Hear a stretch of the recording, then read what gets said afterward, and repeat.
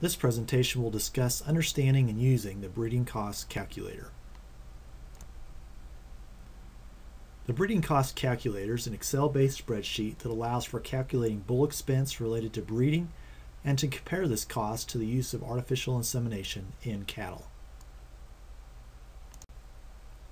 The breeding cost calculator was developed by Roger Wilson, Dr. Matt Stockton, and Aaron Berger, and can be found at the beef.unl.edu website under Learning Modules. Click under Beef Cow Reproduction and you'll find the Excel spreadsheet there.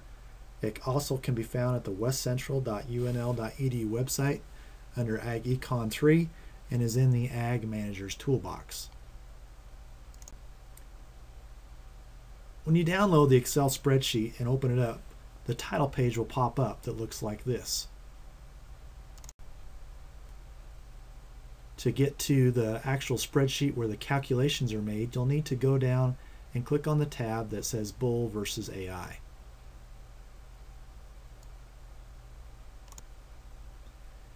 Once you open up the Bull versus AI tab, you'll see a natural service cost and an AI cost. The natural service cost allows us to go through and calculate what it would cost to breed the cows utilizing natural service. And then we have the option of comparing that to a cost utilizing AI. And then we can compare the two options to one another. The first segment we need to fill in under natural service only is the segment here where we want to put in the number of cows that are in the herd. For this example, we assumed 100, the number of bulls we're going to need, end of season pregnancy rate, percent calf crop. And this is really an important number. We're looking here at percent calf crop weaned per cow exposed. And we want to, again, get that number right as it's really important as it applies to getting to a cost per calf produced. Then we have the interest rate value, and you can put in a value here you think is appropriate, either based on money borrowed that you're using uh, for cow or for the bulls that you're utilizing, or maybe if you're using your own capital that you've invested, what kind of percent interest rate you would expect to get back for investing in uh, the bulls to breed the cows. And then also there's an opportunity to enter calf value. This calf value is important in that we're going to compare natural service percent calf crop wean per cow exposed to an AI service and cleanup bull percent calf crop wean per cow exposed. If we expect there might be a difference between those two methods of getting the cows bred, then if we have a difference in the percent calf crop weaned, that's $1,200 then comes into play there and is used to allow us to compare those two options to one another and to calculate in any benefit we might expect uh, from a better pregnancy rate utilizing one of these two methods. Next, we want to put in bull info in terms of what do we expect we're going to spend for bulls, the number of years we're going to use them, what are we going to have for bull loss from things like uh, bulls that fail to pass a BSE exam, bull that get injured, things like bull death loss, and then finally we want to find out what we expect to get for salvage value out of those bulls by putting in what we expect their, them to weigh when we cull them out of the herd and then their value when they're sold. From that, we can get an average cull value and then an average value that that bull will have over his productive life as part of the breeding herd. Next, we get into grazing cost. And there we've gotten this broken out into growing season grazing, dormant season grazing, and then we have some areas there that you can utilize for things like corn stalks or crop residue uh, for other grazing. Down on the lower part of the sheet, I just gave an example that it shows there the time that you're going to be utilizing and then the period.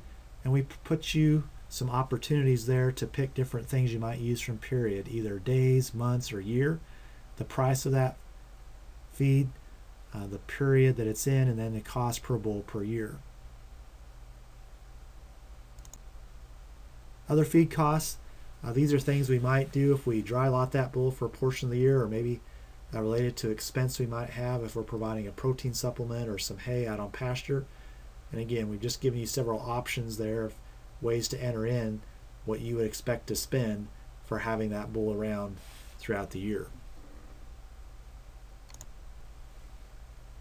Other costs, these are expenses related to having those bulls Uh, labor and management, we said for our herd, we're going to expect to have uh, spend around $500 for the four bulls per, excuse me, for the three bulls per year.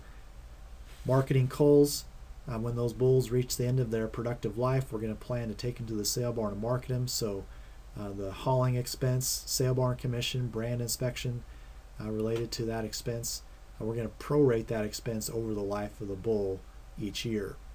Insurance, maybe we're going to take out insurance for death loss then we also have some opportunity for you to put in other expenses such as veterinarian expense, any miscellaneous building costs, uh, things like that. So finally we get to a bull cost per year and so it includes all the expenses that we put in, includes our interest on capital investment or interest on money that we've borrowed for those bulls, and we get down to a cost per calf weaned, per cow exposed. And in this example, we're going to spend around $76 to get a weaned calf based on the scenario presented.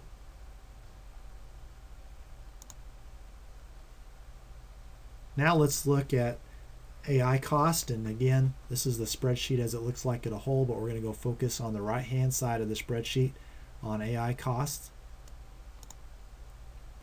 The first area of data entry that we have to look at is uh, is the number of cows in the herd, number of cleanup bulls we're going to need. In most cases, if we AI, we're going to go ahead and turn a bull out with those cows to hopefully get any cows bred that we missed or didn't get pregnant through AI.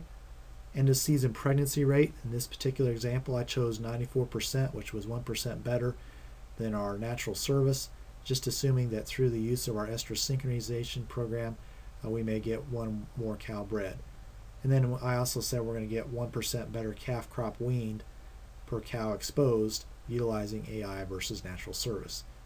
This wage rate for AI activities, we're going to have the opportunity to put in the number of hours that we invest from a labor standpoint, and then to properly estimate costs associated with that, we need to put in an hourly wage that we would want to pay ourselves or expect to pay someone else. The synchronization section, this allows us to put in the amount of labor related to synchronizing those cows and also allows us to put in uh, the expense of the drugs related to synchronization. For this particular example, I'm assuming that we're going to use a select sync plus CIDR program and so we're going to spend around $15 for estrus synchronization drugs. The next segment is heat detection and labor uh, related to that. Uh, we're assuming we're going to spend around a quarter of an hour per head uh, to do that, which works out to around $3 per cow based on our labor charge. This next segment looks at comparing first service conception and second service conception uh, and allows us the opportunity to put in values for that. So in this particular example, I said we're going to AI the cows once and then put a bull out with them. We also have the option in this spreadsheet if you're going to be AIing repeats that you can put your second service expect, expected expenses in there as well. And then the second service expected expenses are based on the number of cows that did not get pregnant in the first service. And then this segment down here that says total cows bred in first and second service is the combination of those two. In this particular example, we only used one round of AI expected to get a 65% pregnancy rate. We didn't have a second round of AI, and so we go ahead and enter 65% down in that second service as that's the total cows that we expect to be bred.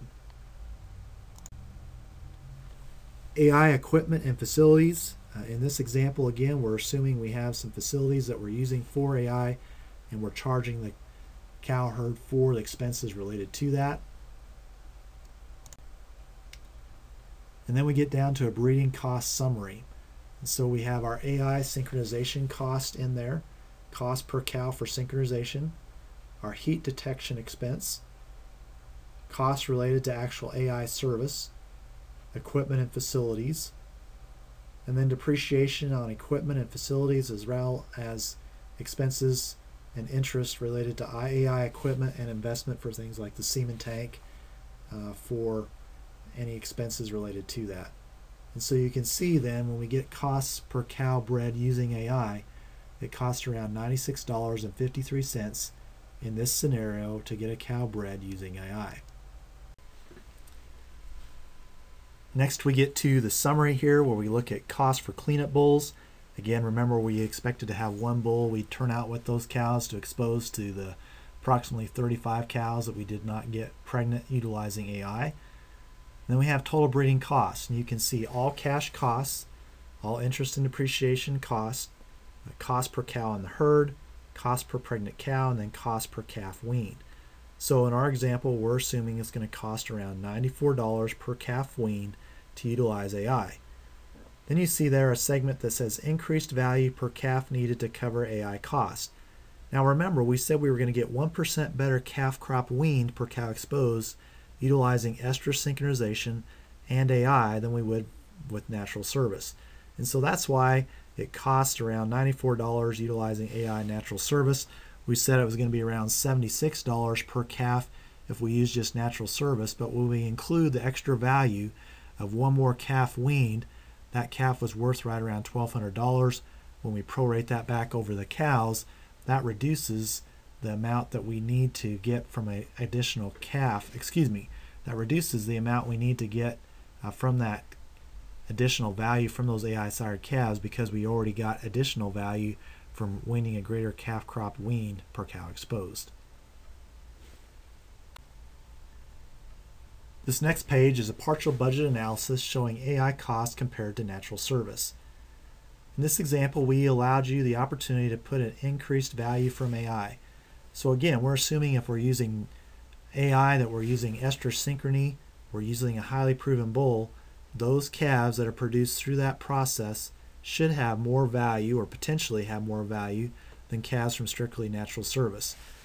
The additional value would expect to get from cows calving earlier uh, from the estrus synchrony, the better genetics that we have the opportunity to use using AI. And so we give you the opportunity there to put in a value that you think would be reasonable to expect uh, from the extra value you would get from utilizing AI. In this example, I used a value of $30. Again, also remember that we said we were going to get 1% greater calf crop wean per cow exposed.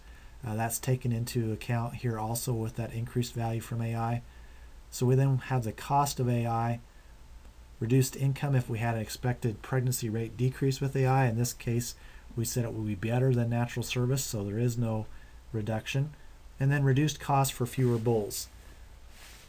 So expected net gain from AI is around $24 per calf produced, $22 per cow. If we look at that over a total herd, we would expect to net an additional $2,200 approximately in this example utilizing AI with a cleanup bull versus just utilizing natural service.